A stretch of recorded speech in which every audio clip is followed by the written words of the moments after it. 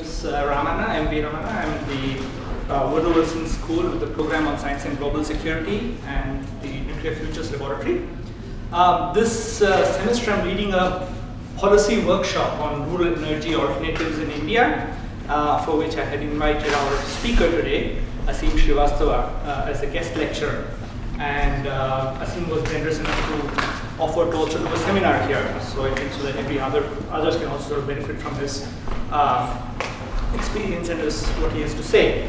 Um, Aseem is uh, comes from an economics background. Uh, he told me that uh, uh, he, he, got his PhD from the University, of Massachusetts in Amherst, and he chose that over Yale, and so I think Princeton should be happy about that. but uh, his um, uh, PhD thesis there focused really on um, uh, forest community management of forests in the Himalayas. Not quite what economists typically do. Uh, and uh, you know it's one of those theses with no equations in them. And so even his even his mother could read it and understand it. And his latest book um, called Churning the Earth, I unfortunately forgot my copy. okay, his only book, as he points out, uh, which is written with uh, Ashish Kothari, um, has been uh, widely acclaimed for dealing with a whole range of very complex issues uh, with remarkable simplicity and something which he can reach out to a large number of people. And I'm sure that we'll see him, his talk demonstrate the same characteristic here too. Thanks for coming. What I would like to do is to begin by telling you a short story uh, which will give you a sense of uh, how I see the issues which I'll be talking about. Uh, everybody knows that uh, money makes the world go round and so on. Uh, but I had my best sort of introduction to the idea from an expert uh, last year at a conference in South Korea. And the gentleman, uh, this was at a, the World Conservation Congress. And you won't believe it, but the largest sort of fraction of people there were actually from high finance. And uh, the person who uh, I'm, uh, you know, I'm about to tell you about, he's actually a hedge fund manager. Uh, now, a hedge fund manager, as, as most of you know, is somebody quite remote from environmental concerns per se. So I asked him uh, what a hedge fund manager was doing at an environmental conference. And he said, well, you know, I'm a nature lover. I you know, always loved plants and animals and so on. And in my day job, I realized I was doing criminal things. And so I needed to do something to address my real passions and my concerns. So he proceeded to tell me a story, and this is what he said. He said about 15 years back, he was having a, a, meal at a restaurant in Boston uh, with some three friends. And while they were ordering food, he realized one of them got Norwegian salmon, somebody got Argentinian beef, somebody else got food from another continent, Nobody was ordering good old New England clam chowder or some such boring stuff. So he said that's when the first penny dropped, which is we were all eating jet lagged food. These are his words.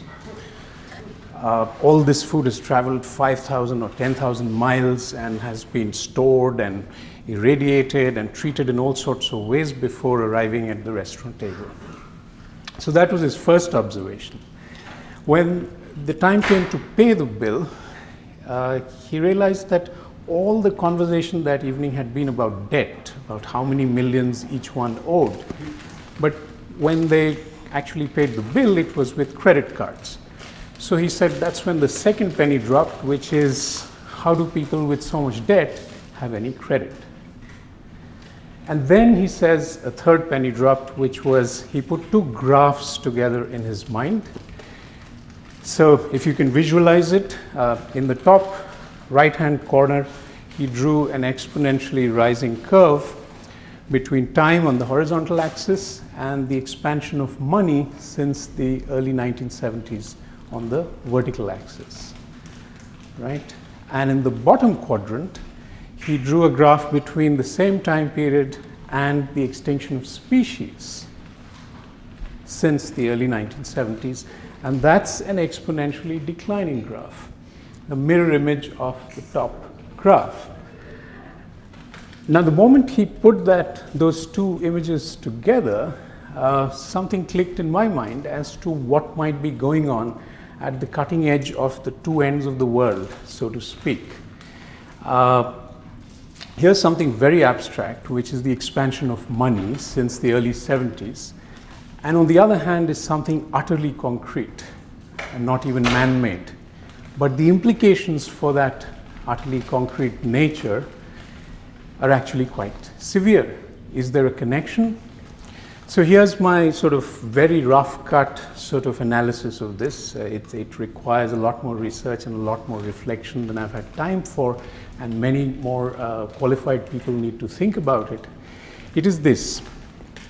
If you look at the expansion of money, which is different, very different from the expansion of income and wealth, right? money is supposed to be a symbol, right, of, of income and wealth. Now, most of the money that we carry in our uh, wallets, and that includes even credit cards, is actually a very small fraction of the total amount of money in existence.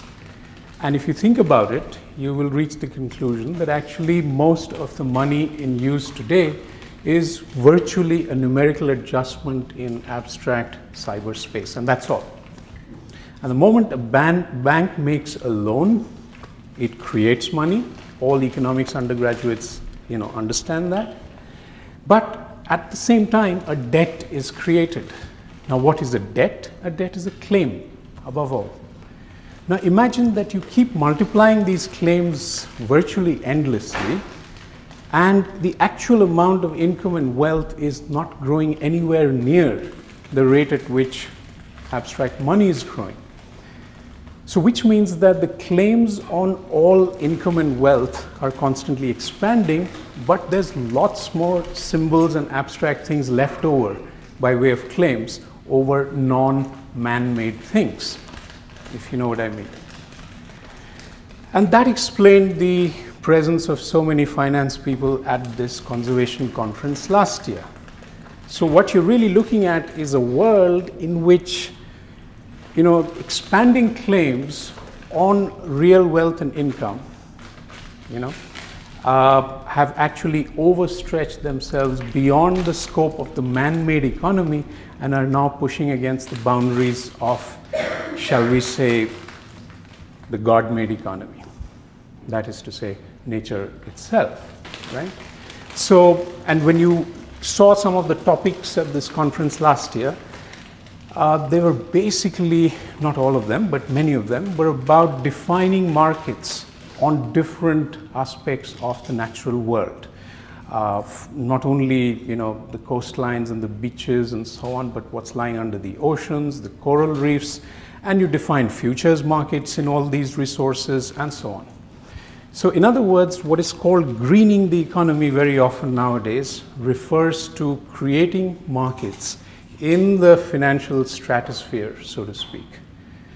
And hence my sort of personal obsession with trying to link uh, the two extremes, finance on the one side and ecology on the other side, to look not just at why you know conservation is interested, uh, finance is interested in conservation, but to actually try to see the implications for nature of the financialization of the economy so my sort of hypothesis to you right now is that the financialization of the economy has actually accelerated the commodification of nature and the monetization of nature and precipitating environmental problems in all parts of the world now at pretty rapid speed. Now, the kind of numbers we are talking about are huge. I mean, if you just look at the ratio of the amount of money that changes hands every day to the actual value of goods and services which changes hands every day across national boundaries.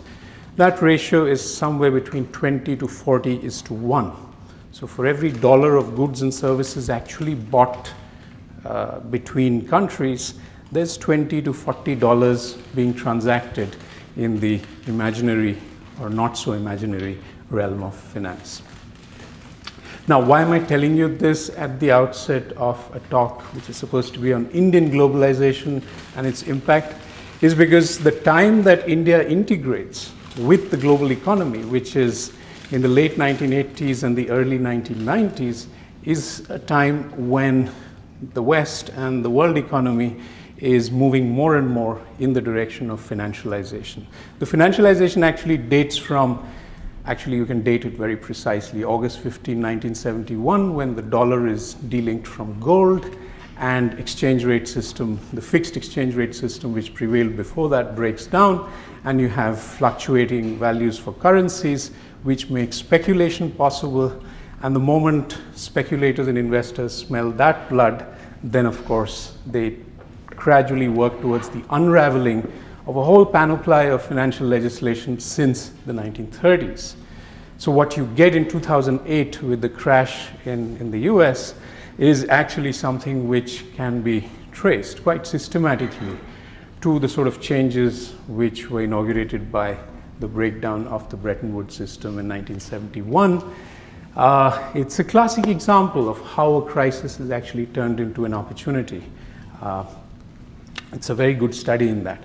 So, uh, so India comes into this whole game in the late 1980s and the early 90s when we're supposed to have, you know, an open economy. Now, an open economy means openness not just to trade, but also importantly to physical investment as well as, most importantly, finance. Which is why the rush and powerful rhetoric in our media in India today about how the reforms are actually not complete. We need to reform more. So, what is it that remains? Well, many things remain, but the most important thing that remains, and which has so far, I argue, actually saved India the real blushes, is the opening up of what is called the capital account, which is to say, you can bring in large volumes of hard currency and take them out, take it out at will. Uh, and that's called the, uh, the liberalization of the capital account. Now, a country like China, for instance, has not contemplated that possibility. Uh, I spoke to a Chinese economist last month in Delhi, and he was very clear that we will follow uh, the West and the US on everything, but on our currency, we are not going to make any compromises. We are not going to let speculators play with our currency. So India is moving on another track, and uh, it's actually trying to liberalize more and more uh, in the direction of opening up the capital account, which will actually destabilize the, the, the, the, the, the rupee and with that the economy uh, much, potentially much more. For some time, the news might be good as long as the money comes in, but when, when the money leaves, it leaves uh, with a lot of uh, stains on the floor, so to speak.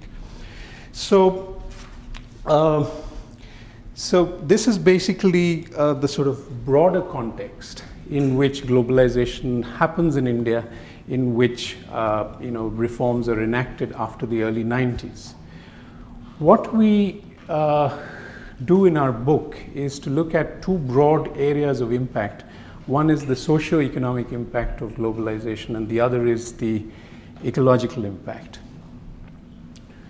Uh, the growth rates, if you, if you just look at the reported official growth rates, they're very impressive. And India has clearly made the transition from what used to be called the Hindu rate of growth of 3, 3.5% per annum to an annual growth rate of GDP of in the region of between 6 and 9% per annum, especially since 2003. Uh, and you would expect that this much growth would actually make severe dents in poverty, as it has in many other contexts like South Korea and China. Uh, and you would expect that hunger and malnutrition would be, you know, it, while not being finished, would come to be seen as things of the past in the foreseeable future. Is it the case? That's the first question that we sort of ask in this book.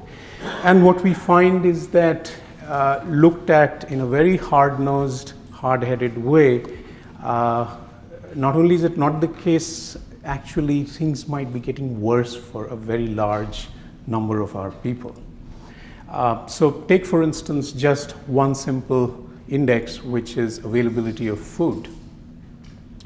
Now, if you look at the per capita calorie intake, okay, across the country, in most parts of India, since the early 90s, per capita intake of calories has either remained constant or in some parts of the country it has actually gone down. Uh, which is a pretty remarkable thing for a country growing at that, at that pace. So you put this data to the planners and, and, and, and, and sort of the, the, the advocates of this form of growth and globalization, and what do they say? They make the argument that 60% uh, of India is still employed in agriculture, and most of these people are now working less and less with their hands. They have more access to machinery. So they actually have to expend less labor in order to you know, secure their necessities.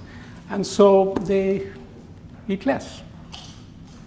So we decided to do a sort of back of the envelope check on it, and we went to the FAO data set on whether there is even one example in history of any country which has been growing into prosperity and has actually suffered either stagnation or decline in calorie intake, and there isn't one. Not one country. So clearly, India has bucked the trend, and for reasons best understood by the planners. So that is one very powerful set of numbers, and I'm, I'm, I'm, the numbers are reported in the book, and uh, they're both mostly from, in fact, entirely from the National Sample Survey, which is conducted by the Central Statistical Organization of the Government of India. Uh, so there's so we argue that there's actually a reason why the Indian governments of the last 20 years have not been reporting very much uh, or, or not talking very much in their planning documents and press releases and so on about actual food intake. Uh, and trying to measure poverty in purely monetary terms, uh, which means that the numbers are compromised in profound respects. Uh, we, if we had time, I would go into some of this, but uh, leave that aside right now. The the, another set of numbers which corroborates this data is the per capita availability of food. And what you find there is that, again, compared to the early 90s, the per capita availability of both cereals and pulses has actually either stagnated or declined. In the case of pulses, it has declined quite dramatically, actually, uh, over these 20 years. Uh, which means overall production is still rising, but not keeping up with population growth, uh, something which is to be contrasted with the Chinese experience. And the answer to that riddle is that Chinese investments in agriculture, especially state investment in irrigation, has been rising, has been quite significant throughout. And in India, state investment in irrigation has been constantly declining. You have uh, roughly about half, if not more, of our agriculture still rain fed, right? Uh, so uh, there's, there's a bunch of other data we look at, and that has to do with employment because if the belief is that growth is going to lead to the famed trickle down effect, what are the mechanisms through which it works? Well, essentially, two mechanisms. One is the generation of employment, and the other is if the state collects high enough uh, tax revenues, then some of those tax revenues can be disbursed towards uh, you know, social spending, redistributive activities, etc. Has it been happening? And here, there's only one statistic which is enough to actually nail the point.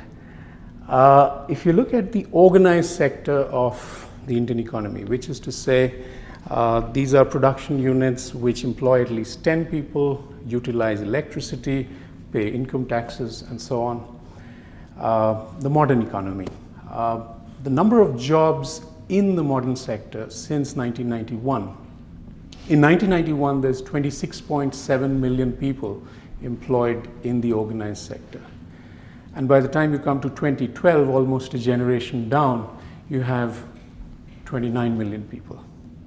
Okay, so the net accretion of jobs is 2.3 million. Of these 29 million, about 18 million are employed in the public sector, so government employees. So the sum total of jobs in the private organized sector, in other words, the most vocal sector in today's India, uh, the sum total of jobs created in that sector, in the organized sector, is 11 million. not created, the number of jobs held.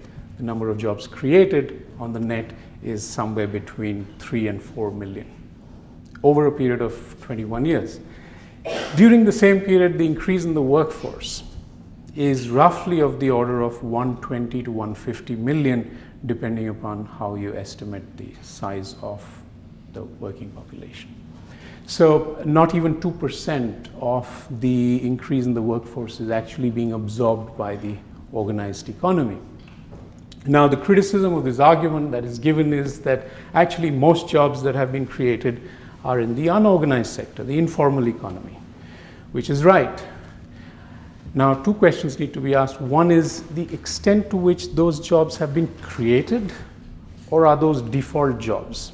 Which is to say, are they jobs which displaced farmers from the countryside have taken up in the manner of, uh, let's say, uh, you know, a small buying a small push cart on which to sell vegetables or something, or are they jobs actively created because of the government policies? You know, so because of the government's policies or despite the government's policies, you have to ask that question. And secondly, how many such jobs have been created? Now here I'll just give you one piece of data. If you look at the IT sector, information technology, which has been the famed cutting edge of India's growth in the last 20 years, the total number of organized sector jobs in that sector is 2.8 million and the total number of jobs, including the unorganized sector jobs, is about 9 million. So, roughly a ratio of 3 is to 4.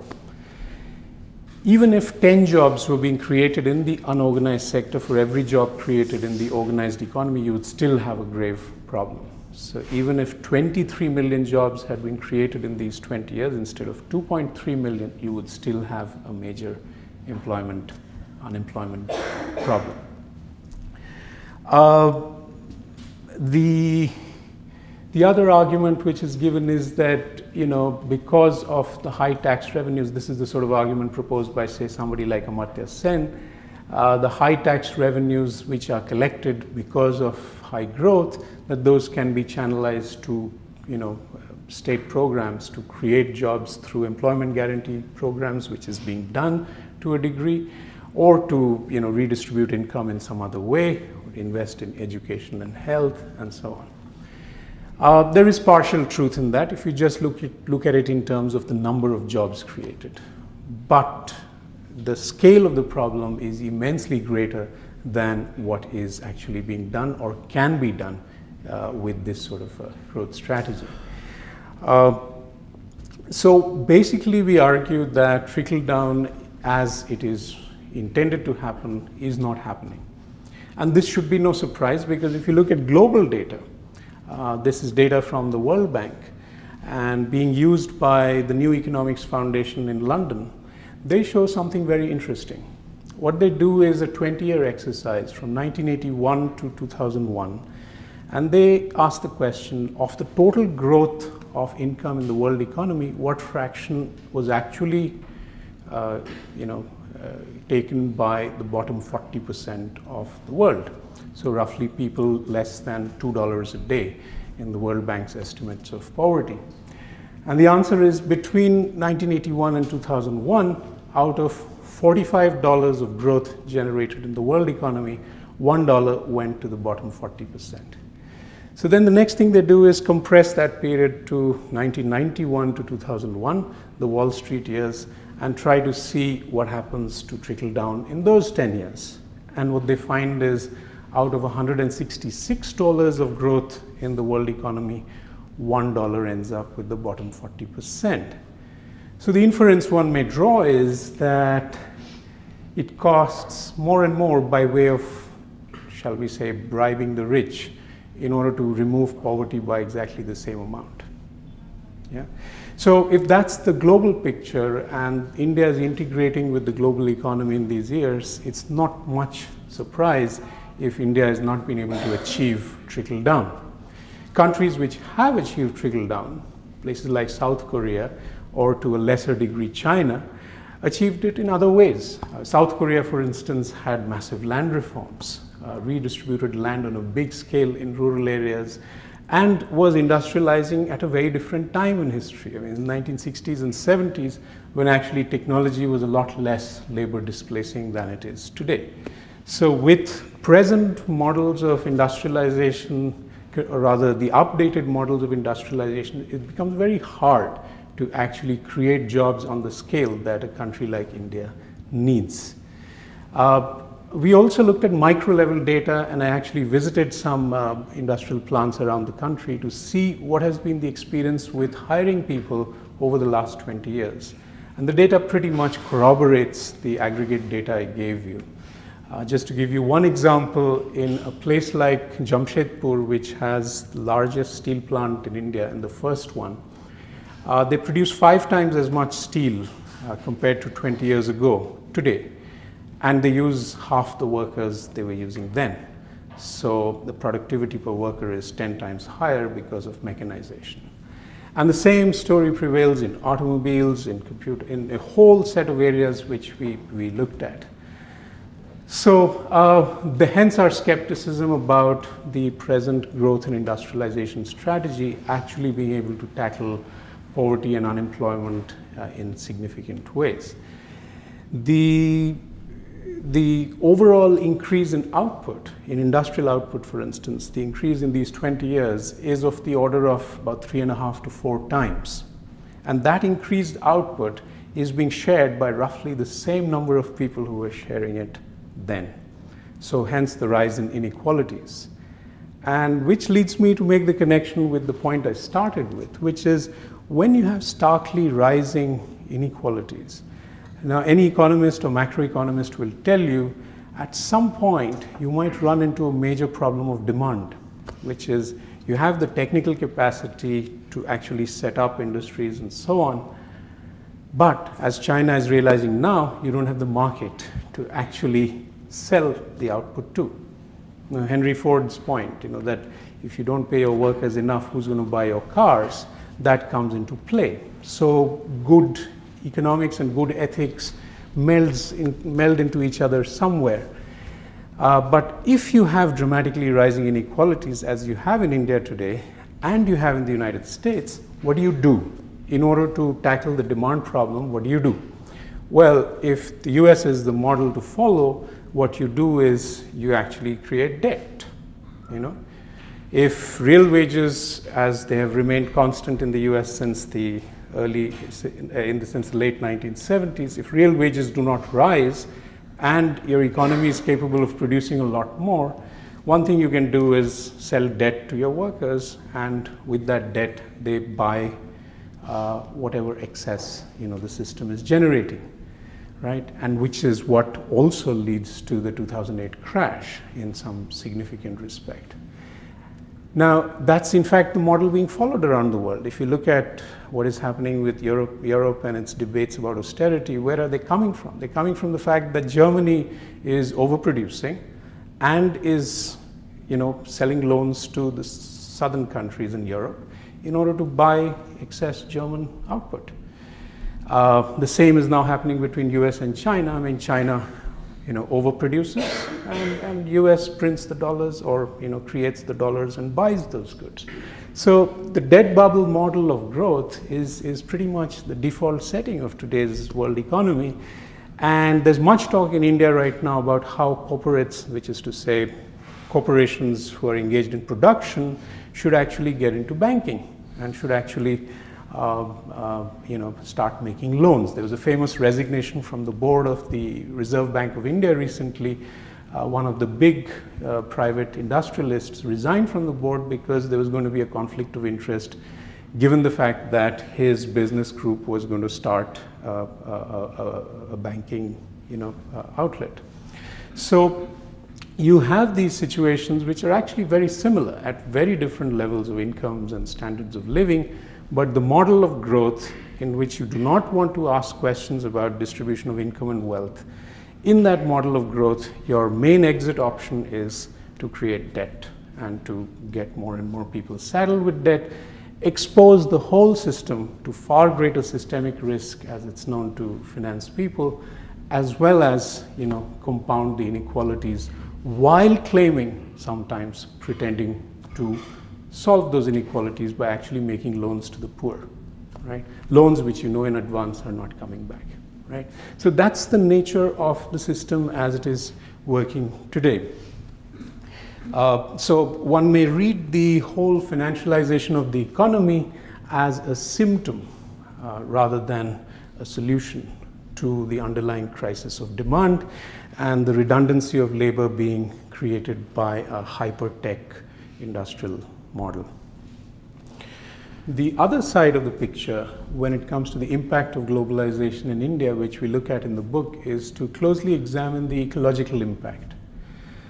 And there the picture is actually far more startling than even in the case of socioeconomic consequences. So I'll just cite you a few numbers to give you a clue as to how much uh, you know damage is happening. Um, there's actually a World Bank study which was released this July, uh, which showed that if you just take account of two kinds of environmental damage, that is to say, they look at uh, damage to human health on account of air and water pollution and damage to the soil, uh, loss of soil productivity and health on account of use of chemicals and salinization and so on. Just these two things when you could actually look at about 20 other important things uh, when it comes to you know, indices of damage. Just looking at these two things led them to the result that something like 5.7% of India's annual production, GDP, is being lost. So, which virtually nullifies present growth rates in India. The data is corroborated by studies which have been done by the Asia Development Bank and which have been done by the Footprint Network, which has been actually quoted by the Confederation of Indian Industry, which is unlikely to, you know, uh, you know, uh, you know, quote this sort of a source, but they do because they realize that they have to take care of the resource base if they have a long-term growth strategy in mind. So the CII reported this in 2009, I think. Uh, and as per that uh, footprint network report, uh, India is living far in excess of its biocapacity. That's the term they use. We've given some numbers uh, to this effect in the book. Um, there's also a study that's been done by the Cambridge economist Partha Dasgupta. And what he looks at is essentially what is, I mean, his definition of sustainability is a country which is actually growing its overall capital rather than diminishing it. What does he mean by overall capital? Three things. Man-made capital, which is to say plants, equipment, industry, and so on. Uh, human capital, education and its you know, positive effects. And thirdly, natural capital. And he does a summation of these three. And what he finds is since the mid 70s or so, India's growth has actually been unsustainable or perhaps barely sustainable. And again, he does not cover the full range of indices which you need to consider. For instance, ignores climate change and its consequences and so on. So I'm just citing you three or four major studies which are all showing roughly the same thing. Uh, if you followed some of the news, this year uh, in June, uh, the Western Himalayas, Uttarakhand, which is the state to the west of Nepal, had some of its worst floods in history. And it rained continuously for two days. It didn't rain too much more than what some of the extreme events of rainfall have been there in the last century. Uh, I think it was about 60 centimeters or so in about as many hours, which is not a whole lot for that part of the Himalayas. But the impact of that was far greater. And the first cut sort of diagnosis of the climate uh, scientists and the meteorologists is that actually most of the erosive force of the rivers came not so much from the rain but from the bursting of the glacial lakes. So in one particular case, the lake above Kedarnath, you know, burst and you know uh, what they call GLOF, glacial lake outburst flood. Uh, that is exactly what happened. Now, the fact is also that this is a part of India which has something like 500 small, medium, and large uh, hydroelectric projects going on, and as, as, many as 40 large hydroelectric projects. Uh, there are parts of the state, if you travel there, uh, the, for instance, the road from Uttar, uh, Uttarkashi to Gangotri, which is about 140 kilometers, has as many as five large hydroelectric projects on the Bhagirathi River. So the land of the whole state has been dynamited for building roads, for building dams. A lot of projects which are actually not run of the river projects are described in that way uh, and have caused considerable damage to the sort of fragile ecology, seismically sensitive ecology of the Himalayas in that part. Uh, so what you've seen uh, also the tourist tourist industry has exploded in that part of India. There's been like a tenfold increase in tourist traffic in the last 15 years. So and all this is very much in line with the growth strategy of the central government. It's not doing something unusual. Uh, it's trying to answer the energy needs of not only the state but the rest of India. It's trying to cater to the tourist traffic from the rest of India and so on. So it's, it's a state very much uh, on the same page as the governments in New Delhi. So that's one example. I could give you at least a dozen more examples of sort of extreme events which have happened in the last 10 years, uh, which actually point in the direction of much more disturbing realities than even the data and the reports which I've quoted you seem to show. So you, you and, and the other side of the picture is that when you look at the monitoring capacity of the state uh, when it comes to environmental damage, it's so abysmal as to be virtually non-existent at this point. And just one statistic, there's something like 6,000 development projects all across India. The total capacity to actually, the, the, the institutional bureaucratic capacity to monitor these projects is about four offices with about five to six employees in each you're talking of about 25 inspectors looking at 6,000 projects. So, and a lot of the time governments have given arguments to the effect that responsible investors will, you know the rest. You know. So, uh, you, you know, you have a situation which is actually pretty self-explanatory in terms of where the data is coming from. We summarize all this in the book which we've uh, published as in terms of a metaphor which we call the burning train. So what happens on the burning train is this. If you've been to India and if you remember the trains there, so you have this locomotive in the front and then you have three or four air-conditioned coaches in the front, uh, AC 1, 2, 3, etc. And then you have many, many wagons, uh, which are actually uh, sleeper class, uh, non-air conditioned, where the multitudes travel, right? So we say that, you know, if you think of the speed of the train as economic growth, and you think of the people who are deciding the speed of the train as the people sitting in the air-conditioned coaches, along with some station masters at platforms, think of the international financial institutions in that role, uh, and the train has caught fire from the back. So the flames are leaping from the back, and the coaches have begun to derail at the back. So think of quarter million farmers having killed themselves since 1997, since India signed the agreement under, uh, on agriculture under WTO. Uh, you think of the coaches derailing from the back, and the belief in the AC coaches is that the faster the train is driven, the faster the flames would die out. That's supposed to be trickle down right? And in fact, the flames rise taller, and there is nothing that is happening within the green bubbles, that is to say, within the AC coaches, which would prompt decision makers and, and, and leaders and so on, cheerleading economists, to actually think of uh, making the right decisions. There's no incentive to do that. So if one set of people are paying the costs of development, another set of people are deriving the benefits, and if the decision makers sit among those who derive the benefits, there's not only no systematic tendency for good decisions to be taken, there's actually a systematic tendency for ecologically irrational decisions to be taken over time. The market economy will send you exactly the wrong signals, right? And when your regulatory capacity is in the shape it is in, you can expect crisis upon environmental crisis.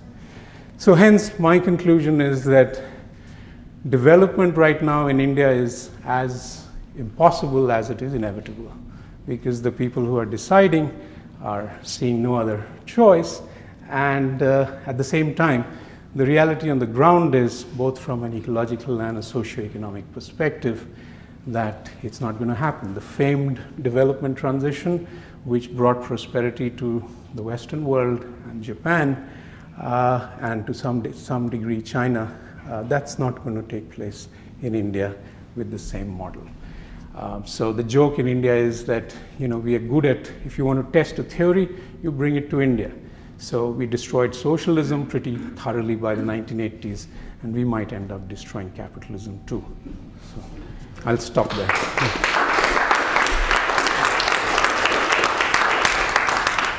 The Economist keeps writing that India wasted its surplus opportunity. What do they mean? What should they have done during the period of growth? I think what they mean is that uh, they did not invest adequately in areas which would have yielded rewards by now, uh, for instance, in infrastructure and so on. What they fail to tell you, or they might tell you in the margins or in the fine print, is something from which India is quite explicitly suffering now, which is this. The last time that India had a trade surplus was in 1977. That is roughly the same time that China had its last trade deficit, right? So you've had more than a generation when imports are rising like that and exports are rising like this, so the gap is widening from year to one year to the next you have to finance this deficit, right? How do you do it? Well, you try to get investment from abroad. So long as you have to do that, you're going to be writing policies to entice financial and other investors from abroad. So the entire policy framework of the country, since at least the Rajiv Gandhi years, has been written with this in mind, is constantly being updated with this in mind and is constantly being written in a state of unacknowledged panic. What happens if the money doesn't come? Well, what happens is the economy screeches to a halt in a few months or a few weeks because critical imports like oil and capital goods and computers can't be imported. Uh, so that's the extent of dependency that this growth strategy has led us to. Now, the, uh, the two things for which you're constantly dependent on the outside world from the Indian perspective today is number one, demand for exports, which is not entirely in your hands. It depends on what the rest of the world is doing, whether they want your goods, what other competitors are doing, etc. And the second thing is capital. Again, something not in your hands. It, decide, it depends on what the Fed's monetary policy is, how much money is there to be, how much liquidity is available for investment, and so on. So, how does a country of India's size and scale develop such acute sensitivity to what the Federal Reserve decides in its meetings in the US? Well, this is how because you've integrated financially, and for the rest, you're actually living on very, very different terms. Now, India is not the only economy to suffer from the, the Fed's policy reversals in the last few months. There are other emerging markets like Brazil, South Africa, Turkey, Indonesia, which have suffered the same problems. But India's concrete situation is a lot worse than that. There's something which uh, people in the area call reserve cover. So, reserve cover is basically uh, the, the ratio of your foreign currency obligations in the next one year to the amount of foreign exchange reserves available with your reserve bank. And the numerator includes two things primarily. One is the, the, the trade gap, the deficit that has to be financed, and your short term debt obligations, right? That reserve cover was about 300% till not so long ago, about two to three years ago. At this point, it's fallen to about 100%. Okay? And the total obligations for the next year are in the region of about 250 billion. And the reserves are about 270 billion. You know? To give you a contrast, China's reserve cover is about 800%. You know? Not only that, their reserves are actually their own money, unlike India, where it's borrowed money. Cars temporarily parked in the Indian parking lot, so to speak, right? So, uh, you know, this is the problem. And a lot of the Indian companies which have actually expanded in the last five years, since the crisis, uh, they took on a lot of foreign currency debt and they're actually conducting operations within India.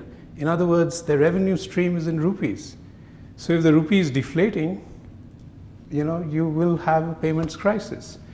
Uh, but these are not things which our corporates normally think about in the good times. You know, they sort of assume that the good times will last forever. So the, the, the strategy is very fragile, and hence the, my sense is that next Fed meeting, when it again goes back to its stance as it was in May, you will again get a rupee crisis. Yeah. Yeah. Yeah. Thank you for a very um, entertaining and wonderful talk and illuminating, really. Um, in addition, um, I was just wondering. You talked a lot about the state policy and the public sector, and I was just wondering about you know, much is made lately in the last 10 years about the NGO sector in India. We have graduates, many dissertations on NGO working on the very two sectors that you identified as problematic, namely the ecological sector as well as the, uh, the social sector, you know, NGO working on women's health, on Dalit education, or on some sort of like environmental issues. Does your study take into, into consideration this kind of input? does this kind of work or let's say activity does it make a dent does it help to raise consciousness does it impact the numbers or mm, enlighten us a little bit about the NGO sector and, and its effect or non-effect, let's say, on the issue that you're raising here? Hmm. Well, I'm glad you raised the question because uh, there are many things to say about it. I'll just say a few things. Uh, first of all, the term NGO it's, it's a sort of almost a residual description. Uh, there are very large variety of groups, communities, organizations, movements which get classified as NGOs. So I think one needs to move beyond the nomenclature if you want to identify where a genuine contribution is being made and where perhaps in some cases things are being stalled or delayed or postponed because of a false solution being put forward by somebody and so on. The second thing is that when you uh, start taking account of the impact, the impact at a micro level is significant, is significant. And in the second part of our book, we actually look at many such stories, dozens of such stories of work which is being done at the micro level by uh, let's say a women's group or a, you know microfinance group. Although microfinance is a complicated area which has all sorts of problems uh, there is a panchayat in, in Tamil Nadu which is doing some extraordinary work. Some of it could be pioneering. The problem is with all the examples which we've chosen they can all be drowned out by the wider environment in which they find themselves caught today so, you know, you're under a siege. If you're doing good work, I mean, for instance, this village outside Chennai, which I visited last year, uh, it's actually gotten rid of poverty. There is no poverty in that village. People are eating three meals a day. It's a caste integrated village, a 60% Dalit village where you have common water sources, you have common schooling, uh, common uh, health clinics, and so on. Uh, almost 5,000 people live there. Nobody migrates from there that sort of village. But it is surrounded by the expansion of Chennai. And so, uh, you know, every year, the Sarpanch was telling me, every year there are battles with development authorities, he has to go to the courts, he has to mobilize people to just defend whatever few gains they've made. So I'm cutting a long story short, but basically my sense is that somebody is digging the hole much faster than it can be filled with a few efforts, noble as they are, in the exceptions. Yes. So you painted a very grim picture, um, and some of the macroeconomists actually criticize India, the IMF, for a lot of its populist programs. And for a lot of its populist populist programs. So midday meal schemes, NREGA, you know, subsidized employment schemes. And I understood the government was launching a proposal for a pension scheme for uh, informal sector yeah. workers that was rolling out just in time for elections. Um, do they do any good? I mean, where do they fit in this picture?